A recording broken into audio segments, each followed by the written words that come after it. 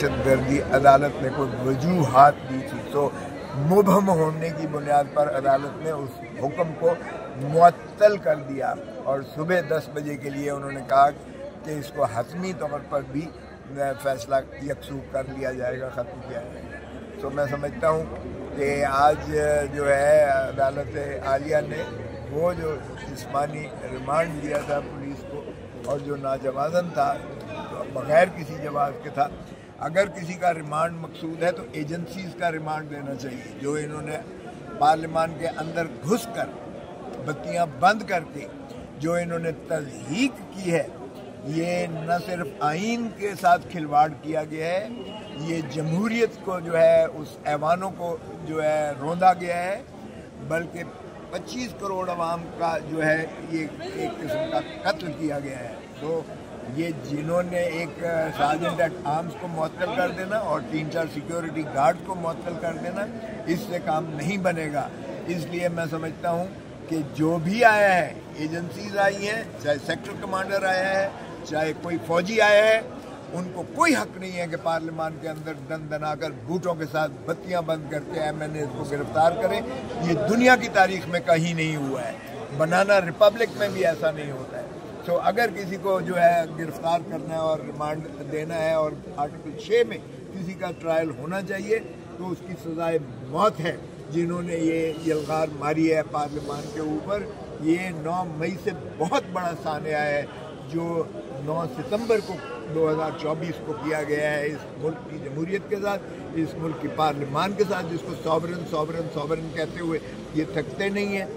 पच्चीस करोड़ आवाम की जो है, ये जो आवाज़ है, उसको कुचला गया है।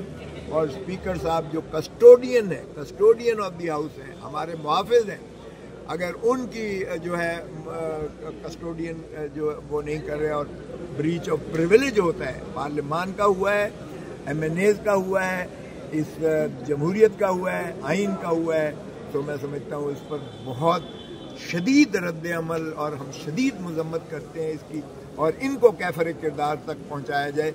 नौ मई नौ मई नौ मई, सुनते सुनते हमारी जो है वो जबान, वो कान पक गए हैं। इनको 9 सितंबर में जो कुछ इन्होंने यलगार मारी है, उसका जो है जवाब दें कौम को, उसका जवाब दें आइन को, उसका जवाब दें आवाम को, उसका जवाब दें जमहूरियत को। इस तरह हम जमहूरियत को न कत्ल होने देंगे। ना आइन को दफन होने देंगे, ना 25 करोड़ आवाम की जो है, उनकी जो आवाज़ इस तरह से कुचलने देंगे।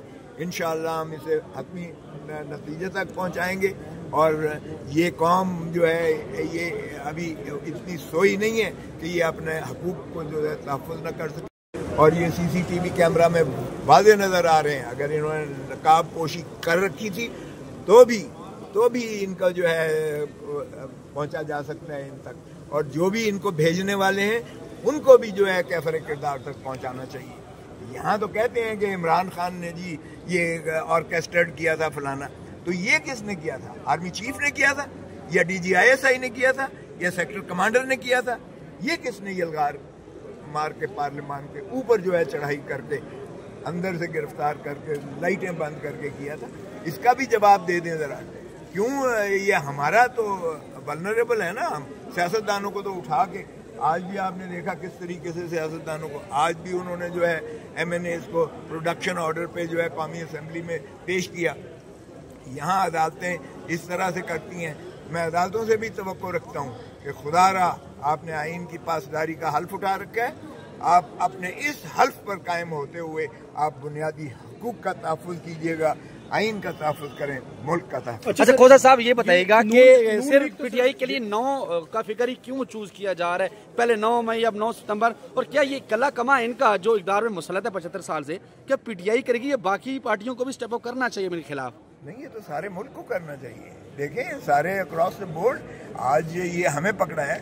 कल को आपका क्या ख्याल है? आपने जो ये गड़ा खोदा है, आप इस खाई में धसते चले जाएँगे। कल को आपकी बारी है। पहले भी इसी तरह होता रहा है, ये खेल, चूहे बिल्ली का खेल तमाशा ये चलता रहा है। इसका एक वंस एंड फॉर ऑल इसको ख़त्म होना चाहिए और इसमें सारी सियासी जमातों को इकट्ठा होना चाहिए और बल्कि सारे जो हैं पाकिस्तान की आवाम को बैक ज़बान और बैक आवाज़ होकर इसके खिलाफ हो अच्छा sir Supreme Court of Pakistan के तीनों वकला पे हाथ डाला गया है तो काले कोर्ट कब तक इस तरह गैर महफूज रहेंगे नामालूम हाथों से?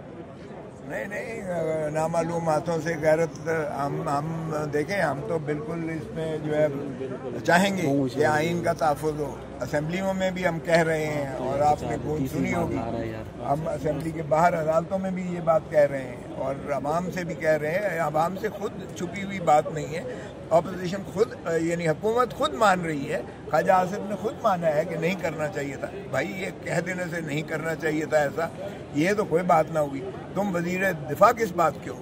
और इंटीरियर मिनिस्टर किस बात का है? अगर उसे ये रो, रोक नहीं सकता है इन चीज़ों को। स्पीकर किस बात का कस्टोडियन है? अगर छोटे मुलाजमों को उसने तो मअतल कर दिया। इन तक क्या हाथ नहीं पहुँचता है? उसका रसाई नहीं होती है? उसके या गुलामी करते हैं ये? इस तरह से काम नहीं चलेगा। अगर वो कहता है कि जी एक उसके पीछे जो है छः लाख हमारा सिपाही मौजूद है तो 25 करोड़ अवाम इस ऐवान का जो है हिफाजत करेंगे। 25 करोड़ अवाम आइन के जो है हिफाजत करेंगे। 25 करोड़ अवाम जो है जमहूरियत की हिफाजत करेंगे। 25 करोड़ अवाम इस मुल्क की हिफाजत करेंगे। किसी को इस पर जो है चढ़ाई नहीं